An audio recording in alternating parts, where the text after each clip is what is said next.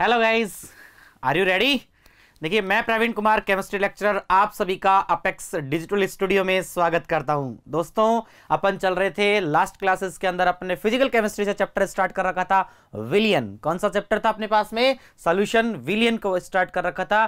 तो अब अपन देखिए, बढ़ते हैं। उसमें अपन ने विलियंस के प्रकार देख लिए थे पहले। अपन ने विलियन के जो आपके कंपोनेंट्स हैं, अवयव हैं, उनके बारे में अपन ने देखा। फिर अपन ने विलय की मात्रा के आधार पर देखा। फिर पहचान करनी भी सीख ली। फिर अपन ने सांद्रता के बारे में देखा और सांद्रता के साथ ही अपन ने सांद्रता की इकाइयों के बारे में पढ़ा।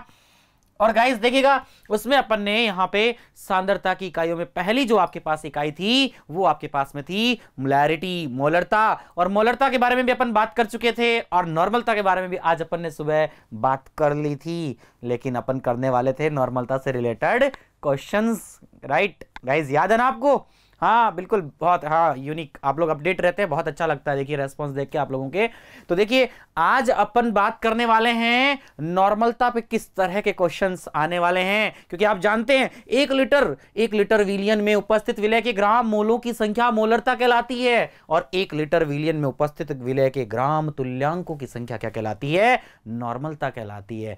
एम इक्वल टू आपके पास में W upon M into thousand upon V M L और N equal to W upon M into thousand upon V into N factor number of H I N याद आ गया? 0.5 अपन बात कर रहे थे ऑक्सीडेशन स्टेट ओएस वाले पॉइंट के बारे में बात कर रहा हूँ। या राइट देखिए गाइज़ तो अपन आप यहाँ पे बात करने वाले हैं नॉर्मलता और नॉर्मलता से रिलेटेड क्वेश्चंस के बारे में, हैं? नॉर्मलता ताप पर निर्भर करती है ये अपन बता चुके हैं बिकॉज़ यहाँ भी आपने देखा कि आपके पास में वॉल्यूम को कंसिडर किया गया जहाँ आयतन शामिल होगा बच्चों जहाँ आयतन आता है वो आपके पास में इकाई आपके ताप पर निर्भर करेगी because V directly proportional to T PV equals to NRT that means वहाँ चार्ल्स नियम से अपन ने देख लिया था जो अपना इलेवंथ क्लास में पढ़ा हुआ है ओके okay. देखिए गाइस रेडी हैं आप लोग? तो कर दें शुरू। नॉर्मलता पे किस तरह के क्वेश्चन आने वाले हैं? तो देखिए, ये मेरा सबसे फ़र्स्ट क्वेश्चन आपके सामने नॉर्मलता के नॉर्मलता से रिलेटेड जो क्वेश्चन है, आपके सामने आ रहा है। देखिए, पहला क्वेश्चन मेरा, फटाफट तैयार हो जाओ, फटाफट कॉपी पेन निकाल लिया आपने। आंसर करना है फटाफट आपको, ठीक है? क्योंकि नोट्स वगैरह लिखने में ध्यान नहीं लगाना। बार बार कह रहा हूँ, सब कुछ मिलेगा, आपको सारा पीडीएफ में मिल जाएगा। एज इट इज़ सारा मटेरियल आपको मिलेगा। बस आप तो क्वेश्चन पे फोकस करो। और ये देखिएगा, पहला फ़र्स्ट क्वेश्चन आपके लिए, आपकी स्क्रीन पर। राइट?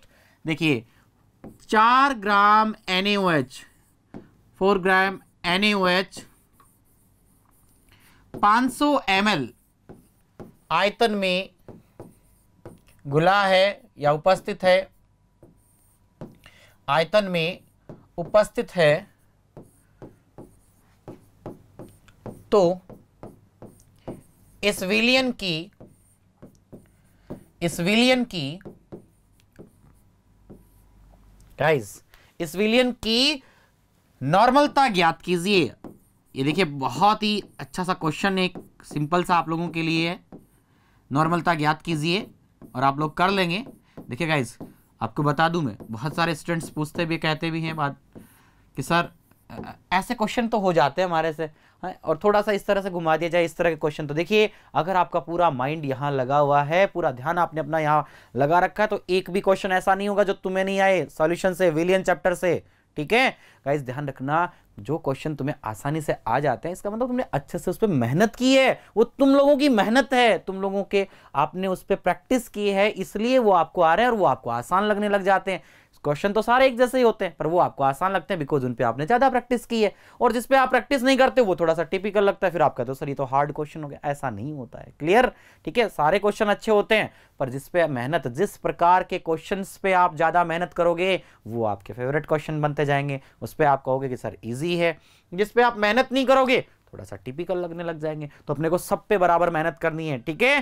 क्लियर तो देखिए, यहाँ चार ग्राम एनएच चार ग्राम एनएच आपके पास में 500 सौ आयतन में उपस्थित है। तो इस विलियन की नॉर्मलता अपने को यहाँ पे ज्ञात करनी है। देखिए, आप जानते हैं गाइज़ क्या एन इक्वल टू आपके पास में होता है? स्मॉल डब्ल्यू अपॉन एम एक बार मैं आपको याद दिला दूँ, आपने लास्ट क्लास में देखा था कि थाउज़ेंड अपॉन यहाँ आपके पास में था वी एम एल और यहाँ आपको पता है क्या था आपके पास में? Number of H I N H की संख्या या ओ एच की संख्या या ऑक्सीडेशन स्टेट ऑक्सीकरण अंक, याद है? इनफैक्टर भी इसको अपन ने बोला था राइट तो देखिए गाइस ये अपन जानते हैं, पहले से ये आपके पास में नॉर्मलता से रिलेटेड आपके पास फॉर्मूला था, और इसमें आपके पास में देखिए बताने की ज़रूरत तो नहीं है, फिर भी मैं एक बार बता दूँ बिकॉज़ आपको आता है पहले से, क्या बार बार बताना कि एन जो है नॉर्मलता को प्रदर्शित कर रहा है। एन किसको प्रदर्शित कर रहा है यहाँ पे? नॉर्मलता को। एम जो है आपके पास में क्या है? ये आपके पास में अणुभार है। विलय का अणुभार। ये हो गया आपके विलय का अणुभार। राइट ठीक है गाइस और देखिए, ये आपके पास में W जो है, ये है विलय का भार, जो आपको क्वेश्चन में दिया हुआ रहता है। यहाँ आपको क्वेश्चन में दिया गया है चार ग्राम। विलय का भार। ओके गुड और देखिए, V जो है आपके पास में, ये है विलियन का आयतन जो आपको दिया गया है क्वेश्चन में 500 सौ एम देखिएगा, ये आपके पास में यहाँ पे विलियन का आयतन है और ये आपको क्वेश्चन में दिया गया है। क्लियर तो देखिए, सारी चीज़ें आपके पास में, आपको पता है कि कौन क्या है, इसमें डब्ल्यू क्या है एम कितना है एच कितना है, आपके पास वी कितना है और सब चीज़ें अपन यहाँ क्वेश्चन इस फॉर्मूले में यदि पुटअप कर दें तो आपके पास आपका जो आंसर है, वो आ जाएगा। क्लियर गाइस तो देखिए, करें यहाँ पे शुरू अपन। तो देखिएगा, इस क्वेश्चन के लिए अपन यहाँ पे वैल्यू रखते हैं। ये देखिए नेक्स्ट अपन स्लाइड ले लेते हैं। इसमें अपन ने वैल्यू रखी क्या? ये अपन ने रखा एम सॉरी एन नॉर्मल था, अपन यहाँ पे फाइंड आउट कर रहे हैं। गाइस देखिए नॉर्मल था। तो यहाँ अपन बात कर रहे हैं। नॉर्मलता से रिलेटेड एन से रिलेटेड तो देखिएगा N equal to N equal to W कितना दिया हुआ था? चार। अपॉन, कितना होता है एनएच का? लास्ट क्लास में बहुत सारे क्वेश्चन किए थे मोलरिटी पे। आपके पास में मोलरिटी पे क्वेश्चन थे मोलरता से रिलेटेड जो क्वेश्चन थे, उसमें अपन ने देखा था वहाँ पे गाइस क्या था? कि आपके पास में एम जो आपके पास NaOH है, उसका जो अणुभार है, वो आपके पास कितना था? चालीस फोर्टी तो ये अपन ने यहाँ रख दिया। इनटू ये कितना है? थाउज़ेंड और कितना दिया हुआ है? 500 सौ एमएल आपको दिया हुआ है। और इंटू एच आयन या ओ एच आयन या ऑक्सीडेशन स्टेट ऑक्सीकरण अंक। तो यहाँ ओ एच आयन है ओ एच कितने आयन है यहाँ पे? एच में A plus H minus one तो ये आपके पास इंटू हो गया। वन देखिए, इसी क्वेश्चन इसी फॉर्मूले में रखा है। यहाँ एन डब्ल्यू यहाँ पे फोर रख दिया मैंने। फोर्टी बोलो इसका अणुभार हो गया आपके पास एन का। थाउज़ेंड वी एम एल पाँच सौ एम एल था। ओ OH कितने हैं? यहाँ पे आपके पास में वन तो देन ये रख दिया वन क्लियर तो देखिएगा आप गाइज़ आपके पास में क्या आंसर आएगा अपना? N equal to N equal to four से देखिए वन ज़ीरो से वन ज़ीरो कैंसिल हो गया, ये लीजिए। ये आपके पास में देखिए गाइज़ यहाँ पे, ये आपके पास में टू ज़ीरो से टू ज़ीरो कैंसिल फोर से फोर कैंसिल तो वन बाय फाइव यानी आपका आंसर आ गया zero point two N normality जो आपके पास में है नॉर्मलता जो है, ये ज़ीरो पॉइंट टू आ गई इस क्वेश्चन के लिए. क्लियर है? कर सकते हैं? वेरी गुड गुड अब देखिए नेक्स्ट क्वेश्चन के बारे में बात करते हैं अपन. ये अपना नेक्स्ट क्वेश्चन है, जो आप लोगों के लिए है. कमेंट सेक्शन के अंदर फटाफट इधर मैं क्वेश्चन कंप्लीट करूँगा. और देखना, उधर से आपके आंसर्स मिलना स्टार्ट हो जाने चाहिए. उधर से आंसर डायरेक्टली फटाफट आंसर आना चाहिए, ठीक है? कॉपी पेन साथ में लेके बैठे हो ना? वेरी गुड देखिए, इधर आपकी स्क्रीन पे आपके पास क्वेश्चन होगा, उधर से आपके आंसर का जवाब आना चाहिए फटाफट। ये लीजिए आपके पास में क्वेश्चन नंबर टू है 9.8 ग्राम 9.8 ग्राम H2SO4 H2SO4 500 ml आयतन में 500 ml आयतन में उपस्थित है या विलियन में उपस्थित है उपस्थित है तो इस विलियन की नॉर्मलता ज्ञात करो। इस विलियन की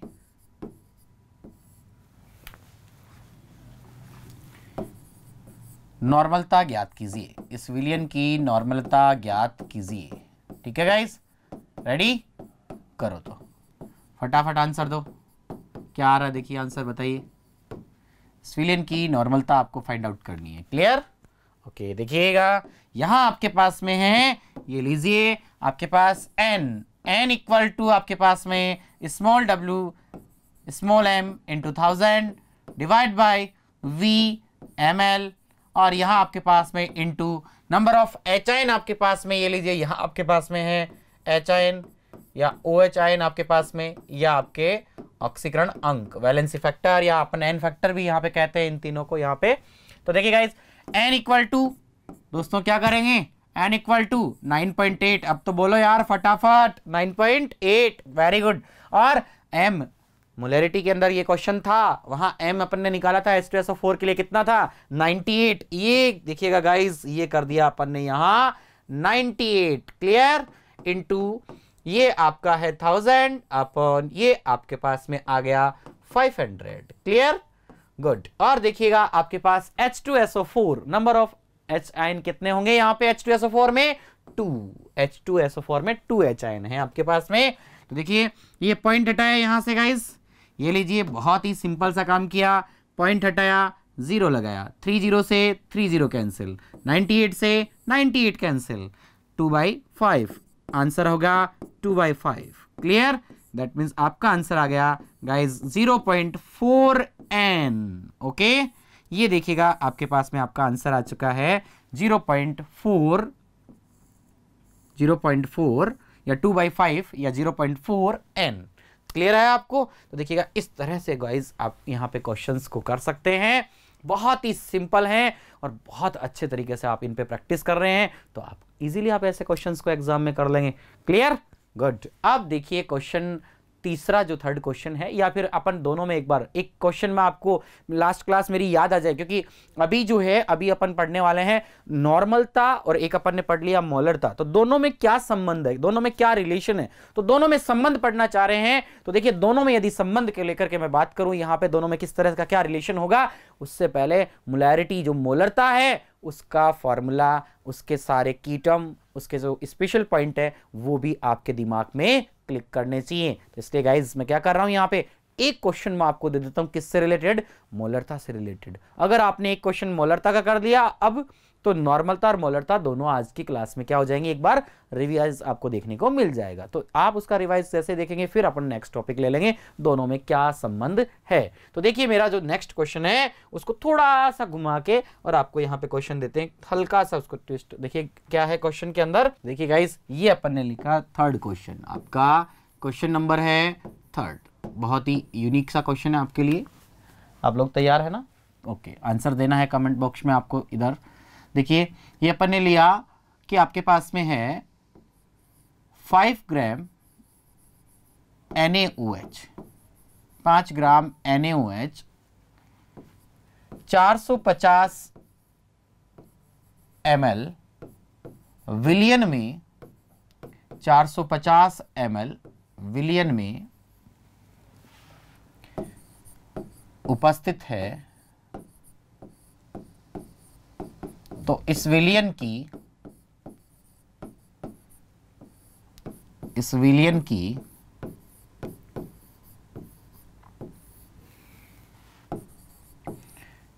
मोलरता ज्ञात कीजिए। मोलरता से रिलेटेड क्वेश्चन लिया है गाइस मोलरता ज्ञात करो।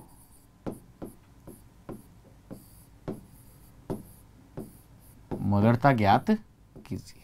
ओके गाइस अब देखिएगा यहाँ पे, ये आपके पास में क्वेश्चन है। क्लियर देखिए, आप जानते हैं क्या आपके पास में मोलरता m इक्वल टू क्या होता है? Small w upon small m into thousand upon V M L clear है आपके पास में?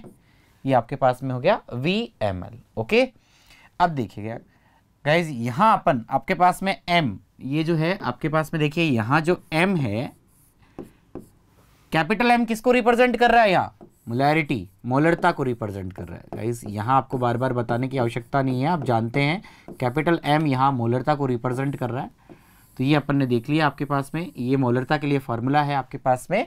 तो देखिए, पाँच ग्राम आपको यहाँ दिया हुआ है तो ये अपन ने लिख दिया यहाँ पे आपके पास में।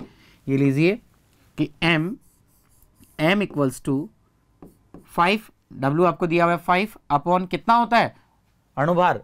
स्मॉल एम जो है आपके पास में क्या है? विलय का अणुभार कितना होता है? चालीस। ये लीजिए, फोर्टी इंटू यहाँ किया थाउज़ेंड और ये आपके पास में कितना दिया हुआ क्वेश्चन में आपको? फोर फिफ्टी एम क्लियर है गाइस ओके देखिए यहाँ पे क्या करेंगे अपन? यहाँ पे देखिएगा कि आपके पास में वन ज़ीरो से वन ज़ीरो कैंसिल इस ज़ीरो से ये ज़ीरो कैंसिल हो गया आपके पास में। और ये फाइव वन जो फाइव और आपके पास में फाइव नाइन जो है फोर्टी फाइव क्लियर तो देखिएगा नाइन फोर से कितने हो गए? थर्टी सिक्स तो एम इक्वल टू आपके पास में आ गया टेन ऊपर तो आपके पास टेन अपॉन क्या आ गया?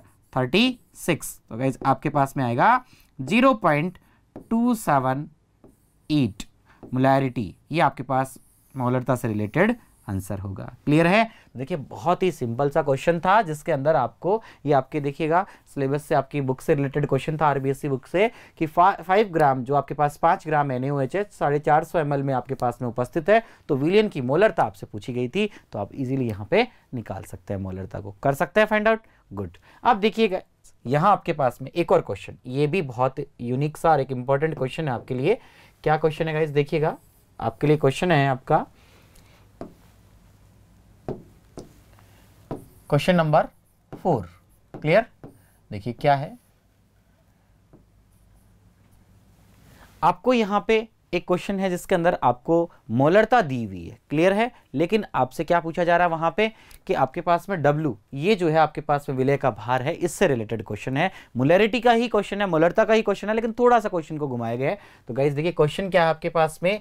आपसे पूछ लिया, ये लीजिए, बहुत ही सिंपल सा है। कि जिसके अंदर अपन यहाँ पे फाइव ग्राम लिया, इधर की तरफ़ अपन ले लेते हैं, मान लीजिएगा यहाँ पे कितने ग्राम एन की आवश्यकता होगी, जिसमें क्वेश्चन के लिए ध्यान रखना, आपसे पूछा गया कि कितने ग्राम एन की आवश्यकता है, ठीक है? कितना एम तैयार करने के लिए?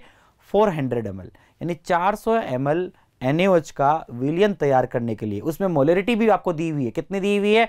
वहाँ जो आपके पास में गाइज़ मोलरिटी है, वो मोलरता जो है, वहाँ पे 0.5 एम ओके तो देखिए क्वेश्चन आपके पास में हो गया कि 0.5 एम यानी मोलरता का का 400 सौ एम एल चार सौ एम एल एनएच विलियन विलियन, तैयार करने हेतु, तैयार करने हेतु,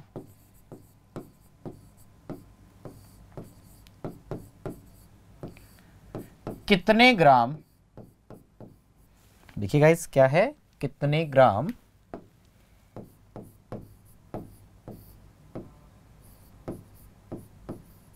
एनएच की आवश्यकता होगी। एन की आवश्यकता होगी। ओके ये आपके पास में क्वेश्चन है। वही मोलरता से रिलेटेड क्वेश्चन है। बस थोड़ा सा इसको देखिए। क्वेश्चन को थोड़ा सा हल्का सा घुमाया है यहाँ पे। आवश्यकता होगी। लैंग्वेज को थोड़ा सा। ओके देखिए गाइज़ बहुत ही सिंपल सा क्वेश्चन है। ये भी आपके पास में। आप जानते हैं गाइज़ क्या? कि m मोलरता इक्वल टू क्या होता है आपके पास में? Small w upon small m into आपके पास में है thousand upon V M L clear है? अच्छे से? गुड देखिएगा गाइज़ यहाँ पे ये आपको बहुत ही अच्छे से क्लियर है। कि मोलरता का जो फॉर्मूला है आपके पास में ये होता है। और गाइज़ इसमें भी आप जानते हैं, ये भी आपको बहुत अच्छे से क्लियर है कि ये जो आपके पास कैपिटल एम है, ये किसको रिप्रेजेंट कर रहा है यहाँ? मोलरता को। तो यहाँ लिख सकते हैं अपन, ये मोलरता को रिप्रेजेंट कर रहा है आपके पास में। क्लियर और देखिए, ये जो आपके पास में, यहाँ पे W है आपके पास में, ये क्या है गाइस ये आपके पास विलय का भार है। किसका भार है? विलय का। तो यहाँ अपन लिख सकते हैं, ये आपके पास में विलय का भार हो गया। क्लियर और देखिए ये जो स्मॉल यहाँ पे एम की बात कर रहे हैं, ये जो आपके पास में यहाँ पर बात करें कि जो आपको स्मॉल एम नज़र आ रहा है क्लियर ये क्या है आपके पास में? विलय का अणुभार है गाइस क्या है? विलय का अणुभार ओके विलय का अणुभार। और ध्यान रखना ये जो विलय का आपको यहाँ पे ध्यान रखना, ये जो आपके पास में भार, ये एनएच का भार, यही आपसे क्वेश्चन यही क्वेश्चन है यहाँ पे पुट किया इसी को पूछा गया आपसे। इस क्वेश्चन में यही पूछा गया आपसे कि ये जो है आपके पास में कितना होगा। क्लियर है गाइस ओके तो देखिए, ये जो है वी अपन जानते हैं ये विलियन का आयतन है। ये तो क्या है आपके पास में? विलियन का आयतन। ये अपन पढ़ चुके हैं बहुत बार कि ये आपके पास में है विलियन का आयतन। ये लीजिए। क्लियर अब देखिए यहाँ पे गाइस अपने पास में क्या हो जाएगा? आपका आंसर किस तरह से होगा? एम एम आपको कितना दिया हुआ है? Zero point five. ये ज़ीरो पॉइंट पाँच। क्लियर ओके डब्ल्यू आपसे पूछा गया, ये लीजिए, पूछा गया क्वेश्चन में, ऐसा कैसा डब्ल्यू रख दिया। एम कितना होता है? एनएच के लिए 40 क्योंकि बहुत क्वेश्चन कर चुके हैं प्रैक्टिस हो चुकी है आपके ये रूटीन में आ चुका है कि एन जहाँ भी होगा, आपको सीधा यहाँ पे जो मोलर मास है, जो आपका अणुबार है, कितना लिखना है? 40 लिखना है। ओके? क्लियर है? H two S O four का 98 है। एन के लिए 58.5 है। जितना आपको क्वेश्चन करेंगे, जितनी प्रैक्टिस करेंगे, उतना ही अपने को इजीली क्या हो जाएगा? याद रह जाएगा। ओके? बार बार आपको कैलकुलेट करने की ज़रूरत नहीं पड़ेगी। और थाउज़ेंड और यहाँ कितना दिया हुआ आपको? 400 ये आपके पास में 400 सौ है। क्लियर है गाइस ओके? तो देखिए गाइस यहाँ आपके पास में अपन कह सकते हैं कि ये जो है देखिएगा इसके अंदर आपके पास में ये थ्री ज़ीरो थ्री ज़ीरो से टू और ये थ्री ये थ्री ज़ीरो क्या हो गया अपने? कैंसिल हो गए। क्लियर? तो देखिए, अपने पास में यहाँ पे क्या बचेगा? Zero point five equal to अपने पास में आ गया क्या? Small W upon four four जा कितने हो गए? सिक्सटीन। फोर फोर जा कितने हो गए गाइज़ सिक्सटीन। ओके तो देखिएगा, ये आपका आपके पास में आंसर आ गया। डब्ल्यू इक्वल टू कितना आएगा? एट ग्राम, ये लीजिएगा गाइज़ ये आपका डब्ल्यू इंटू एट ग्राम, ये आपको एन इतना एन आपको आवश्यक होगा। तो जो क्वेश्चन आपसे पूछा गया, कितने एन की आवश्यकता होगी आपको? देखिए गाइज़ यहाँ ये आपके पास में इतने एन की आपको आवश्यकता होगी। क्लियर है आपका अच्छे से? तो देखिएगा, इस तरह के क्वेश्चन भी मोलरता से रिलेटेड आपको देखने को मिल सकते हैं, जिसमें आपसे विलय का भार पूछा जा सकता है, आपसे मोलरता पूछी जा सकती है। तो दोनों तरह के जिस अलग अलग जो तरीके के क्वेश्चन बनते हैं, वो मैंने आपको करवा दिया और आपको अच्छे से समझ में आ भी गए होंगे। ओके क्लियर है गाइज़ तो देखिए, अब अपन देखते हैं गाइज़ क्या? नेक्स्ट देखिएगा। ये अपन ने ले लिया नेक्स्ट डिजिटल बोर्ड का मज़ा ही गाइज़ अलग है। आप लोग तो जानते हैं ना? हाँ बहुत मज़ा आ रहा है, देखिए। क्योंकि जैसे ही अपने को बैक जाना हो, ये लो सर क्वेश्चन नंबर फोर एक बार फिर से बताना। ये लो गाइज़ अब बोर्ड पे तो मिटा दिया होता, पता ही नहीं लगता। है ना? यहाँ तो पीछे अब किसी ने कहा, सर क्वेश्चन नंबर टू वापस बताओ। ये लो भाई क्वेश्चन नंबर फ़र्स्ट ये लो क्वेश्चन नंबर फ़र्स्ट आ गया। यहाँ से शुरू किया था अपन ने आज। क्लियर है ना? तो इस तरह से गाइस देखिए डिजिटल बोर्ड पे अपन ये सारी चीज़ें अच्छे से, जब आपका मन करे, आप देख सकते हो। तो ये आपके अपेक्स परिवार ने सिर्फ़ और सिर्फ़ आपके लिए किया है गाइस ध्यान रखना ओके